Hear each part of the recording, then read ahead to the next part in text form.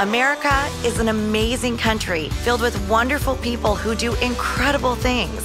But too often, the media and liberal politicians ignore big parts of our nation and the people who make it work.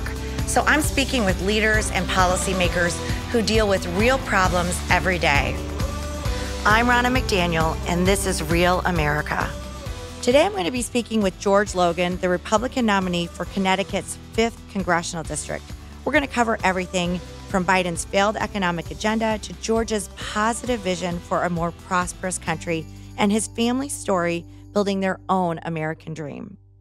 I'm so excited to welcome George Logan to Real America. Welcome to my podcast. Thank, Thank you for Ron. joining me. Pleasure to be here. So we'll talk a little bit more how we met. Um, but I'm going to start with something that I haven't started every podcast with because everyone should know George Logan is a top candidate for the House. He is one of our top seats that we can flip to retire Nancy Pelosi in Connecticut 5. How can people support your candidacy and give money to you in your very critical race? Sure, Ronna. Just go to georgeloganforcongress.com. And you can- George Logan for Congress.com. So everybody go do that right now and then listen to the podcast while you're donating to his campaign. Um, I want to get to know you a little bit better, and then we'll talk about how we met um, when I was in Connecticut, which is just such. So, it was so exciting to meet you and see you on the stump. But um, your grandparents were from Jamaica, Yes. and they went to Guatemala during the Depression in the 1930s. Can you talk a little bit about your family history and coming from Jamaica, ending ending up in Guatemala, and then coming to the United States of America? Can you tell that story? Absolutely. So, three of my grandparents uh, from uh, uh, Jamaica, one from Nicaragua, but even his roots were from Jamaica as well. Really? Yeah, in the 1930s, there was a depression right here in the United States and all over the, the, the world, really. Uh, and so they uh, people were moving around.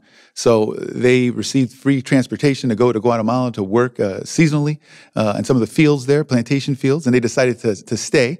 Uh, my parents uh, met each other, you know, in Guatemala. Okay. Uh, there aren't there aren't a ton of people of African descent in Guatemala, but they found each other, um, and they were dating. So now in the 1960s, uh, the United States, uh, we had a, um, a station, a base down in Guatemala. We did. So now my, my uncle, Vincent, uh, he was stationed in Guatemala. He worked, he was in the army. He repaired helicopters, didn't fly them, but he repaired them. And he was there for like a one year stint and he uh, fell in love with my Aunt Sonia. They, yeah, they, yeah, they got uh, married. He brought her to the United States. My grandmother, now my parent, my, uh, my uh, mother and her, her siblings were older.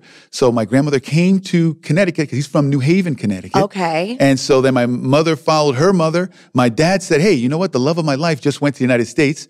Uh, you know, he, uh, you know, got his." Uh, So they weren't married yet. No, they weren't He even married. yet. followed her while they were dating. Yes, the story goes. You know, it, it changed over time. Sometimes he said he had twelve dollars. Sometimes he had twenty. Okay. but he didn't have much. Twelve and twenty, Yes, not big yes, of a difference. yes. Back yeah. in the mid '60s, and he uh, he flew into the United States. Called my uncle. He says, "Hey, I'm in the United States now in Guatemala." You can travel across the country by car in about 16 hours. So Okay. he called and he called my uncle. He says, Well, where are you? You know, JFK, LaGuardia. He said, He looked around. He said, uh, No, I'm in, uh, it says Miami International Airport. So my uncle had to, you know, uh, rent a car, or borrow a car, drive the 24 hours, picked them up, brought them to uh, Connecticut. But, you know, the story there is, is that, you know, my um, uh, parents, you know, they got married, you know, in Connecticut and um, they worked, you know. My dad said he always, he had two, sometimes three jobs at a time. He said if he uh, didn't like a job he was doing, uh, within a week he can find another job, right? Really? He ended up finally working in a, a a factory that's no longer there anymore, but uh, American Crucible, it was called. He's Okay. worked there for 17 years. My mother worked as, back then they called her a secretary. She did that for about uh, 20 years. And they raised our, our family there, me and my two brothers, you know, always pushing uh, education and working hard. And that's where I kind of got uh, kind of my mojo here in terms of what I wanted to do in life and the um, really understanding the importance of education and hard work and what it can do as far as the American And what dream you is can concerned. achieve. Absolutely. So did they did they love America? Are, are they still living or? They, My my father uh, passed away in 2007. Okay. I'm so sorry. yes. And uh, but my mother's still going strong. Okay. 84 years old. 84. Yes, she is. And do they just love this country? Loved America, of course. You know, and the thing about it, when they came over here, they came with all the confidence in the world. You know that you know, as far as equal opportunity, if you work hard, right? Right? You can Yeah. succeed. And I saw that, you know, growing up, and I believed them, and that's why I studied so hard. I ended up um, achieving and obtaining a, a degree in engineering, Yeah. right, and getting a job as an engineer, working at a water company for 30 years, you know, and then raising my fa- family myself. And that's why now I'm very concerned because I'm worried that my kids, my son Hunter's 23 years old, my daughter Tracy in her senior year of college, uh, she's 20, and I want them to be able to, you know, enjoy the American dream. have that same opportunity. Absolutely. I just want to say, George, you do not look like you have a 23 year old. And I, I shouldn't say that a 20 year old, and you don't look like you worked for 30 years, but um, you, good genes. Um, say thanks to mom uh, and say hi to her for me. But that's really amazing, that story. And I, and, I want to talk a little bit about how we met because talking about your family story does intersect a little bit with how you and I first met. Um, and the best part about my job is I get to travel the country and meet people like you Uh-huh. and rising stars in our party. But we were opening a Black and Hispanic community center in your district. That's right. Um, Waterbury is kind of the main part of of Connecticut Five, but we were in New Britain, Mm-hmm. and I got to see you speak, and I s- saw all these people come to that community center, and it was just amazing. But what I say to people all the time is, these inroads we're making with Hispanic and and other voters that have immigrated here legally Yes. In some ways they love our country even more because they sacrificed so much to come here. And it sounds a little bit like your story. Absolutely. and and your mom. So i love that. And my son was there and he met you. He was you're like his number one candidate. He's my son nash who's 17 so you grew up in connecticut. You you go work in the private sector. I think you were the first college graduate in your family. Sure, absolutely. Yes. um, you're living the American dream because of the sacrifice of your family. And then you end up being a state senator. How does that happen? Well, you know, um, so my goal uh, once I graduated from college was to, you know, to get a job and to start my own family. I didn't have any lofty goals in terms of running for public office, but what I found was, uh, you know, once um, uh, I, I had kids and um, you know they were in high school, and I would talk to my uh, uh, friends and colleagues. I was coaching my daughter's uh, middle school basketball team, Yeah. talking to the parents, and they would talk about having to go to Florida or, or, you know other states and California uh, and Seattle to visit their children. Why? Because the, the cost of living in Connecticut, remember I ran for state senate, was too high. So I took a look and I I said, boy, you know we're a state of millions of people. Why are we sending the same people to Hartford? So I decided to throw my hat in the ring because I was tired of the high uh, uh, property values, the high taxes, the regulations on businesses, and I ran against a 12-term incumbent, uh, right? And I was partly lucky because no one wanted to run against this fella because he beat all uh, comers. But I knew that we, the Republican Party, we had the better message, right? Free enterprise, uh, family values, hard work, and I just hit it hard. And I thought it might take a couple election cycles to actually get my name recognition going, but I gave it the old college try and I eked out a victory. And I turned Oh a, a blue district red for a, a couple. And what times. year was that? Uh, that was in 2016. 2016. Yes, yes. So you became a state senator. Yes. And what did you learn in that process, just being in Hartford and the things that you're seeing in these Democrat run states that are blue? Connecticut is a blue state. Like you said, the taxes are so high there. What were some of the things or the challenges you faced as a state senator? So when uh, I, I won in 2016, we entered uh, in 2017, and we actually managed to pull off a tie in the Senate.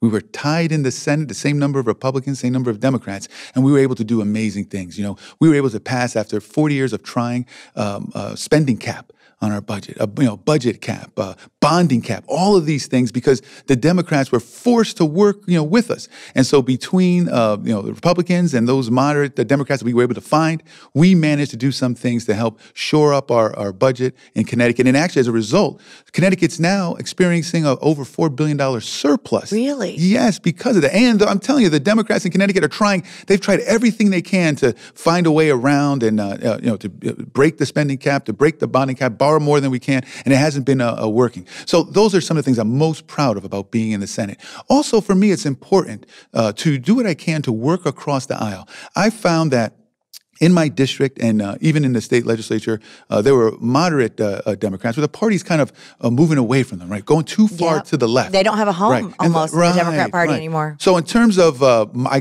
when I'm in mixed company, I talk about the moderate voters and conservative voters from Connecticut have no voice in Washington. Our entire congressional delegation in Connecticut are all far left leaning liberals, and that's a, a problem. But this is why we're gaining so much momentum now uh, because we're able to show that, look, again, again, we have the message. The status quo is, is terrible. If you want it to change, you can't vote for the same folks you've been voting for. You can't vote for these liberal, so-called progressive Democrats. You're just going to get more of the same. And they'll take your state backward. And look at what's happened with just some um, some bipartisanship yes. and putting the people of Connecticut first, especially with this this Senate that yes. forced the Democrats to work with Republicans. You use a phrase, and uh, I'd like to talk about that because I think it touches on what you were just talking about. You you say I want to bring radical sensibility instead of radical partisanship, right. and I think that embodies the Democrat Party right now. Radical partisanship. Absolutely. Everything is about going so far left and being so radical that we've lost common sense. But talk about that and what you want to bring to Congress. Absolutely, hit it on the head there. You know, so the uh, left, far left leaning uh, Democrats, you know. Um, they're progressive, they're radical in the wrong way. So I want to bring radical in the sensibility in the right way. And the definition for me, it is common sense, right? Yeah. Because what we're experiencing now is that uh, you know these excessive uh, spending packages, when we're experiencing record high inflation, that's not common sense. When you want to uh, defund the police or redirect funds, when the Democrats try to play with words, right? As crime reimagine, is, yes, yeah. as crime is ticking up, that is not uh, common sense, right? When you have businesses, particularly in Connecticut, uh, that are, are, hurting, having a hard time to expand and hire more workers, right? Because of uh, stifling, you know, regulations, and what do the Democrats leaders want to do in Connecticut? Add more restrictions to businesses. That is not common sense. So when we talk about radical sensibility, that's what I'm talking about. Bringing more common sense. And now at the congressional level, bringing that down to Washington, right? We need some more sensibility down in Washington. We need to work uh, uh, better together uh, uh to move our country uh, in the right direction. People want that. Yes. They want to see us work work together and yeah. find solutions and put our focus on the people we represent. That's right the people you're going to represent. So tell me about your district. Sure. You're running for Connecticut 5. That's right. Tell me about the people of your district and what you're hearing as you're campaigning. Sure. 41 towns and municipalities in the district.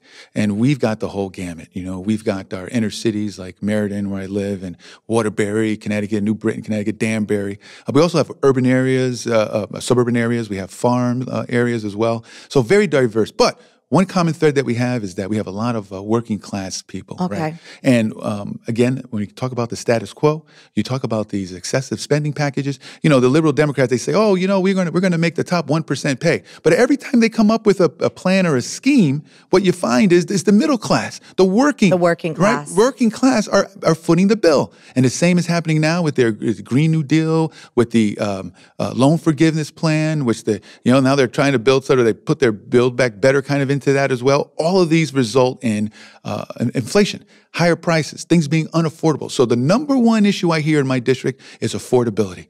Uh, things are just too expensive, whether it's groceries, whether it's gas, even baby formula is still an issue. And those are things that uh, folks in my district and rent too, and yes. rent and insurance. I mean, every single thing. My mom said this when I got married and we got our first apartment.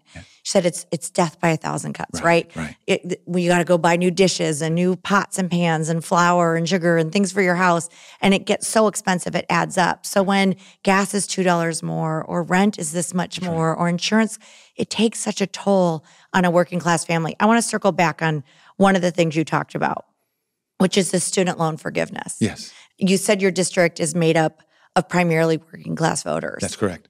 What do they think about the fact that with this Biden administration, what they just did is said, we are going to bail out Harvard and Yale and all these people who made a contract. That's right. They willingly accepted these loans. Right. They're making significant amount of money. Right. And now you, somebody who maybe paid off your college or went to a technical college or community college or right. um, or didn't go to college at all, right you're going to have to pay off their college loans. What do, what do voters think about that in your district? They feel like it's a slap in their face. We have so many folks who've paid off their student loans. We have so many who made choices, right, to go to community college or to not to go to college at all, right, and enter into the trades. They made these decisions. And now, on top of that, you're asking them to foot the bill. And look, this is not a long-term uh, solution. You know, no. the government cannot continue to just forgive uh, student uh, loans. So, you know, we need to uh, work more. You know, I think the the uh, the government, you know, being so involved in the stu- student loans uh, is something that you know we need to encourage more uh, private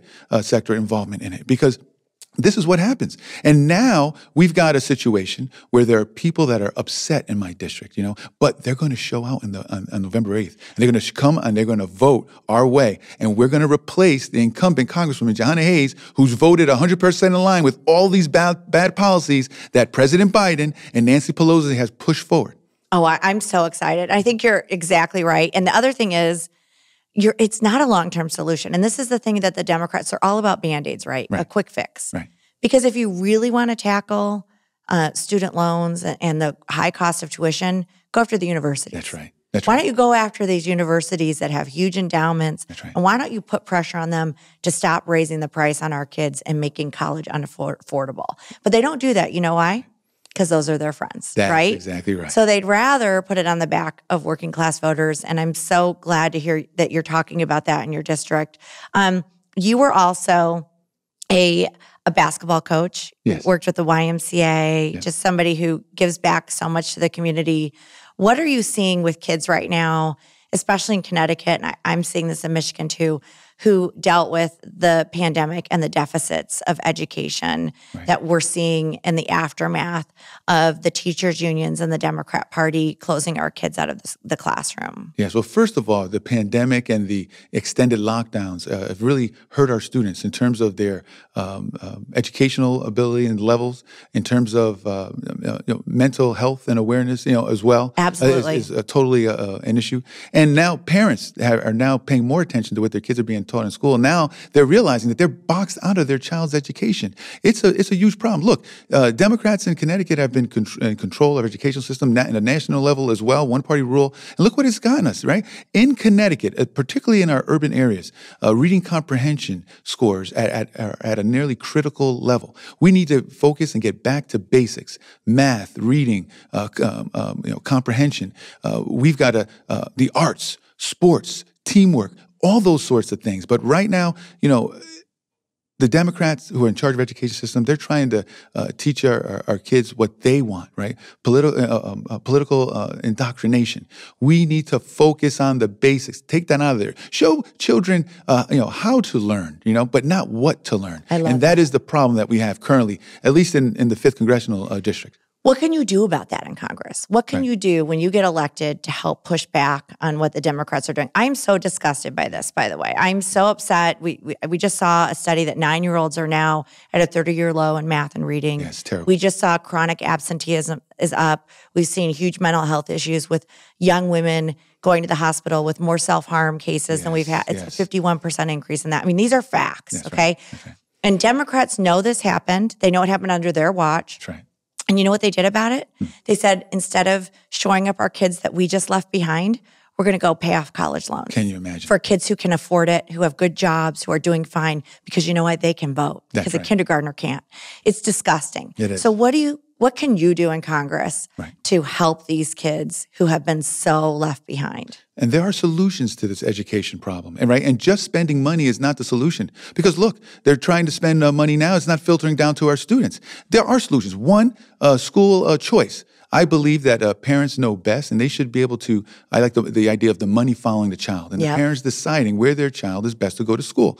I believe that will actually help the public education system because now the public schools will be competing with private schools or, or charter schools or magnet schools and even parochial schools.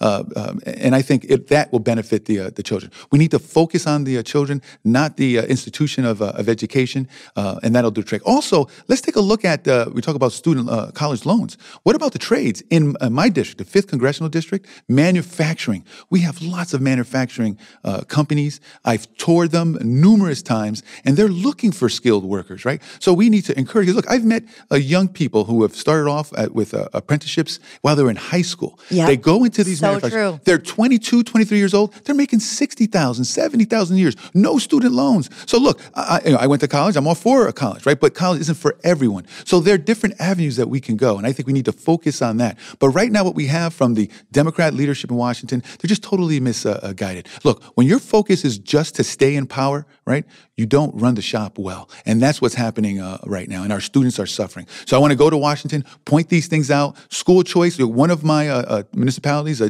Danbury, they have a, a program called LEAD program. Okay. Uh, and there they're, um, they're pushing their own, their own school. They're trying to push, uh, uh, um, you know, school choice. Um, but they're getting friction right, from the Democrat leadership in Connecticut. You know, so I think at the federal level, I think we need to uh, push uh, more solutions that are going on that vein. Uh, and the way we do that is one, we uh, flip the House of Representatives. Yep. We get rid of Nancy Pelosi as Speaker of the House because we know that she is not going to fix the education system because she hasn't to date, right? And then we bring some better checks and balances to the Biden Harris administration until we get to 2024 and we can get a more conservative Republican president in office. I like the way you think. I like the way you think. So, education's a big issue. Yeah. We talked about the economy. What about crime? Is crime an issue in your district? crime is a huge issue in my district. There has been an uptick in crime since the time I was in the uh, state senate, and I voted against what I call the uh, in Connecticut the anti-police bill uh, that was passed. Um, and what that did, it uh, it weakened our, uh, the ability of our police officers in Connecticut um, to uh, really you know apprehend criminals. Um, repeat offenders are being let out of jail. You know, and what's what's happening is more carjackings. People are being robbed in broad daylight. our communities are less safe right? With these defund the police, or as the, my uh, in, you know, the incumbent uh, uh, Congressman Hayes calls redirection of funds. Oh my God! It's unbelievable. And so, despite all of that, they still go down that path. You know, my incumbent, she was uh, um, uh, been endorsed uh, by um, it's called the Working Families Party of Connecticut, and this is an organization whose main one of their main goals is to defund the police. So goes to Washington, votes in line with Nancy Pelosi nearly 100 percent of the time, votes in line with AOC nearly 100% of the time. The Biden Harris administration uh, does all these bad things that are really uh, making us uh, weak in terms of our, our, police force and our law enforcement. Then she comes back and says that she supports law enforcement. Just, you know, and President Biden's doing the same thing as well. Right? So there's words, right? And they're, they're words that are lies. That's right. And then your actions show us where your true beliefs are. Exactly. And they are absolutely for defunding the police. No because otherwise they would be fighting cashless bail and getting these criminals back on the streets. They have become the criminal party. They really have, and our cities are less safe. And I want to just touch back on the community center we opened. Absolutely. Because Democrats have had the historic wins with minority voters for so long, black, Asian, Hispanic. Yes. Uh, and the RNC and, and you were there. We are really trying to make inroads with with these communities. But I think we have to point out on crime, they're failing these communities. Right. On education, you know how many kids didn't show up to school right. in, in the last year? Over a million kids K through wow. 12, and wow. mostly in urban minority communities are being left behind right. because of Democrat policies.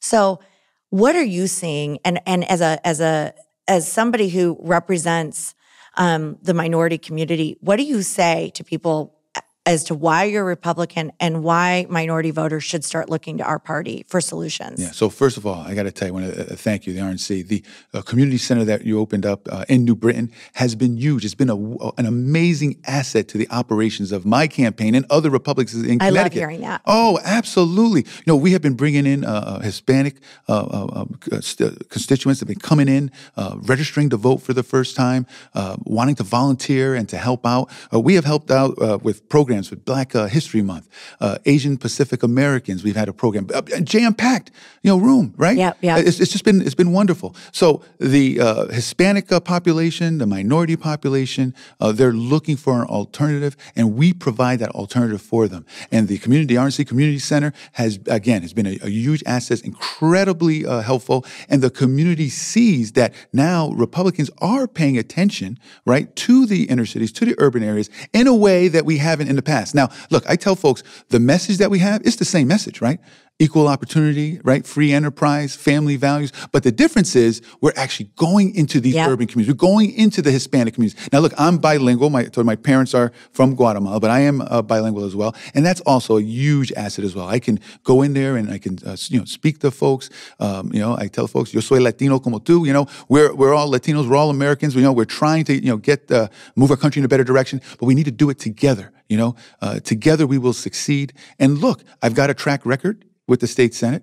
I'm from the community. You know, you talk about my mother, my 84 year old mother. She's a great asset to my campaign as well. I'm sure she oh, is. people What's love her name? What's her name? Olga Taylor Logan. I love Olga. She's got her Facebook. Oh, she posts on there. She went to go visit her 89 year old uh, sister in Guatemala just a couple uh, uh, weeks ago, and she posted a um, uh, did a post of her uh, dancing. 84 years old dancing. Oh my gosh. yes, I I, love tell you. Olga. So Oh. yes, yes. So she's you know she's been great She's as well. got to be out there so much. She's my biggest But you're you are you seeing the movement and the energy? Because you know when I was at that community center opening, it was packed. Right. It was packed. That's right. And I think there is a hunger, like you said, for something else because Democrats have continuously taken minority votes for granted. That's They just assume, and but the here's the the next part of it. They take the votes for granted and then they do not deliver results. That's right. Schools False aren't promises. better. Right. Crime is up across the country. Edu- we have these education deficits. It is just wrong, and they are full of it. Agreed. And so finally, people like you are stepping up, and we're we're backing you 100. percent But when when I say to voters, you're better off having a voice in both parties because then they have to deliver. That's right. And it's time to look at the Republican Party. But do you feel the movement? Do you Abs- see it happening? Absolutely. Look, and the polls show it. That's why I mean, some polls are saying we're at a toss up now, right? Yep. And the reason why is because we are getting into the district, we're getting into the urban areas and the suburban areas and the rural areas with our message. Folks are seeing that the Democrats continuously provide these false promises that really have, has only made the uh, affordability issue worse, has made the inflation issue worse. Uh, education, right, is still in a trajectory downward. And you just, you- folks just understand you cannot change the status quo by voting these same folks back in office. And the incumbent, Congresswoman Jahana Hayes, has been doing a terrible job for Connecticut, has not been a voice